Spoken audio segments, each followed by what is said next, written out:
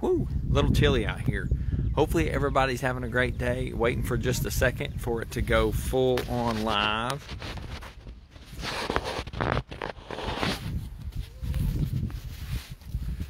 Hey everybody, it's a great day to be alive. It's Tommy Lee Francis with the Morgan County Today, and we are out here in a little bit of cold weather down here in Tennessee.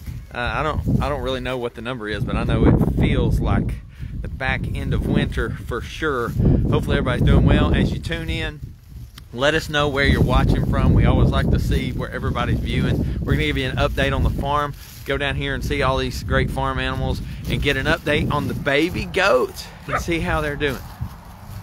So you guys ready? You can see them over the shoulder here. Let's go check them out. They're all down here getting along, little doggy.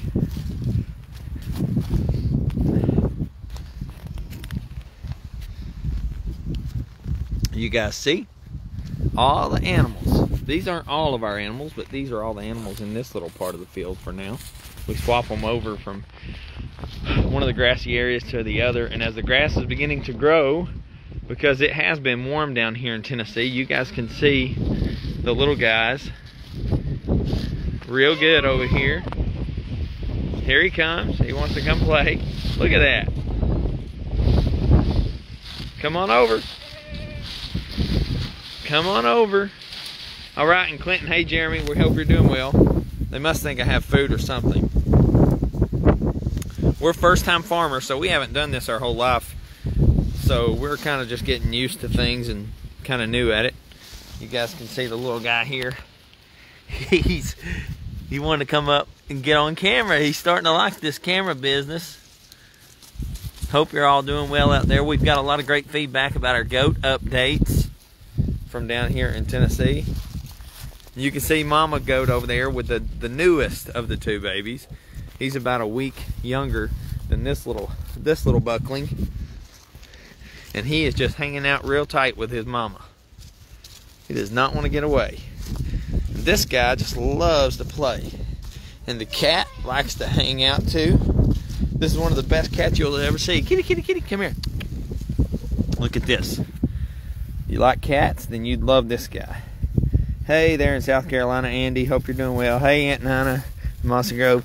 And then we got Cassie here. Cassie is a tricolor, a tricolor collie. She's new to the family. That's Lassie, the tri, excuse me, Cassie, the tricolor collie. Because we've already had a Lassie before, didn't we, Cassie? Hey, Cassie, say hey to everybody. See that? That's little Cassie.